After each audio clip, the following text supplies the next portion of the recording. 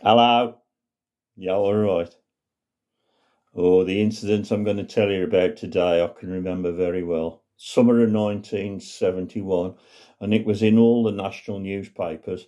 Notably, it was in the News of the World and the Titty Bits magazine, and also 137, page 137 of the uh, Tividale Tiddler, the weekly newspaper we used to get in Tividale, uh, all about Birch Crescent and a big, uh, big sex scandal what happened summer of 1971. I, I remember it so well. We just got married, uh, July 1971, and we was living in a new house, which we was very proud of, at Amblecote. And I was still visiting my nan and grandad at Birch Crescent, number 54, Tividale Hall Estate, a lot.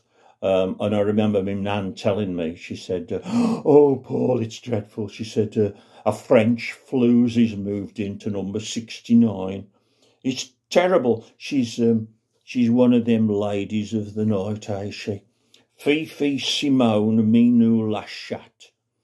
Uh, I were for, from Tividale originally. I come from um, Hill, I think it was. And uh, but a mum and dad was French.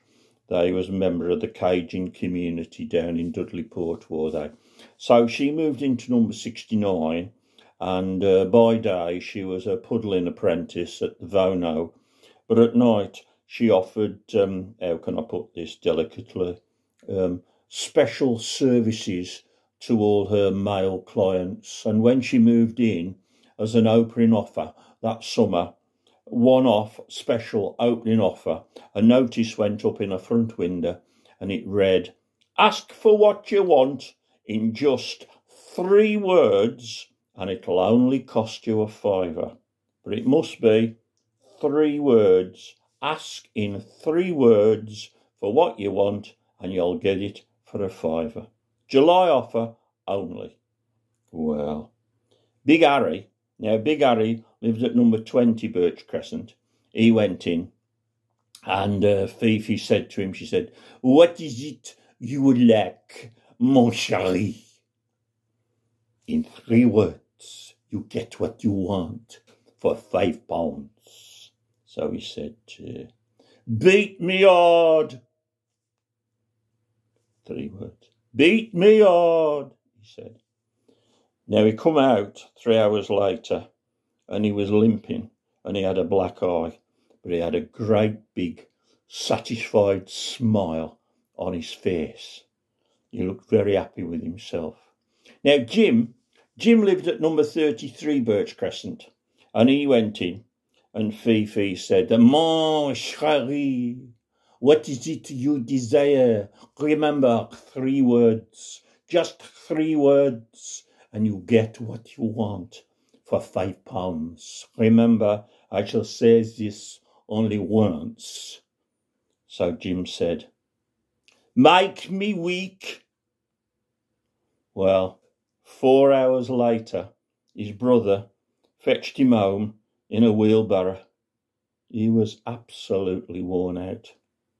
Now then, Wilf Clegworthy lived at number 41 Birch Crescent, and he wore from Tividale originally.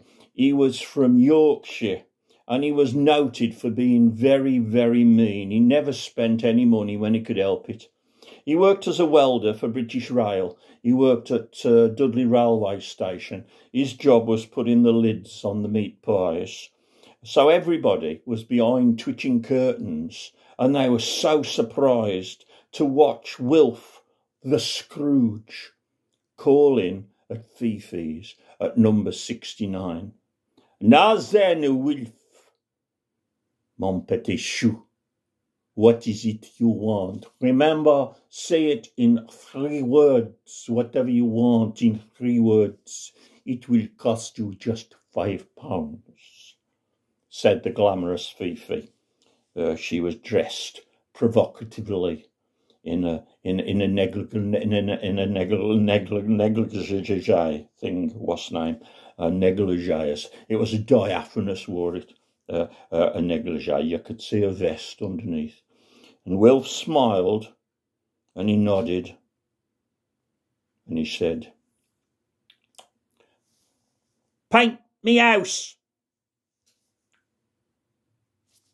Ta-ra a bit. Stay out that oss road. It's busy, busy. Thank you, Mother, for the palings and also them uh, roasted ptarmigan pies I sent. They was really nice. I could tell there was local ptarmigan and Pensnett piccalilli with them. It was really nice. That was busting. I'm going down to the church tonight. They're having a question and answer session, and there's something puzzling me, so I'm going to ask the vicar to explain it to me. Um, the, the the thing that's puzzling me and keeping me awake at night is if if Jesus, you know Jesus, if Jesus comes from the Holy Land, why has he got a Spanish name? Don't understand, don't you? Ta-ra a bit. I'll see you soon. Take care. Ta-da!